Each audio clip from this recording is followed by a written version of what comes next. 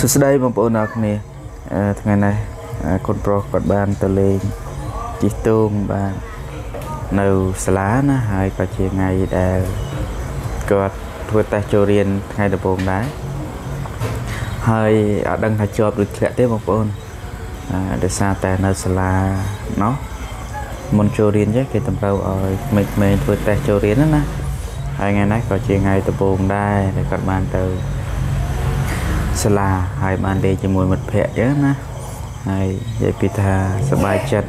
បន្ទាប់ពីលេងទូងហើយចាប់អត់ឈ្នះទេបងប្អូនអើយរត់ឡើងតាមឈើពេញនឹងឯងភាសានៅផ្ទះអត់មានដើមឈើអញ្ចឹងទៅពេលទៅសាលាចេះគឺចូលចិត្តណាស់ឡើងដើមឈើចេះបាទខ្លាចតែទៅរៀនមិនមកទេបងប្អូនមកទៅហ្នឹងហើយហើយព្រួយបារម្ភដែរបាទចំណឹងធ្វើម៉េចទេ យើងតើតែហ៊ានបដោយបាទហ្នឹងហើយហើយភ័យដែរណាបងប្អូនពេលឃើញយ៉ាងទៅឃើញដើមឈើចេះគឺចូលចិត្តឡើងចូលចិត្តអីចេះបាទហ្នឹងហើយហើយនិយាយពីថាឲ្យតែឃើញដើមឈើបាទដឹងតែរត់ឡើងណានេះឃើញមួយដើមទៀតហើយ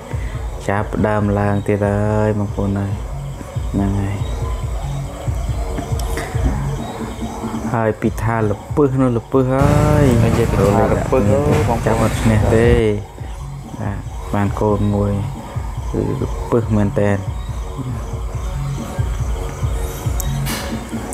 ហើយទៅមកដើមទៀតហើយរត់បាទទិញតាមថតចង់ធ្លាក់ក្អួតណានេះពុកម្ដាយគេក៏ទៅ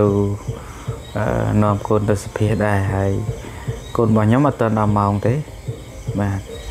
ចឹងឆ្លៀតពេលនេះក៏ថតវីដេអូឲ្យបងប្អូនបាទទស្សនាទាំងអស់គ្នាទៅបាទហើយឡើងទៀតទៀតអត់ចង់ទេណាចង់តែឡើងឲ្យតែខ្ពស់បាទគឺថាបានខ្ពស់កាលណាសบายចិត្តកាលហ្នឹងហើយអូឡើងហើយផ្ទះដៃបាយបាយចេះទាំងអស់និយាយពីថាពេលសភាបងប្អូន ខ្ញុំភ័យឡើងបុកពុះពេលនៅផ្ទះណាសួរអីក៏អត់និយាយសួរអីក៏អត់ឆ្លើយដែរតែដល់ពេលទៅសភាជាក់ស្ដែងម៉ែឪម៉ែនឹងឡើងព្រឺសបល់បាទភាសាអីអ្នកគ្រូសួរអីក៏ឆ្លើយដែរបាទអ្នកគ្រូឲ្យផាត់ពណ៌ផាត់ពណ៌អ្នកគ្រូសួរពណ៌អីចេះពណ៌នឹងទាំងអស់បងប្អូនហើយអ្នកគ្រូឲ្យទៅលាងដៃចេះទៅលាងដៃអ្នកគ្រូឲ្យទៅយកចានបាយចានអី កសែងអីហ្នឹងក៏ចេះ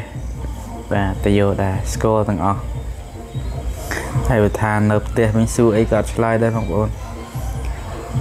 សួរមែនតែនទៅចង់ខឹងយើងវិញ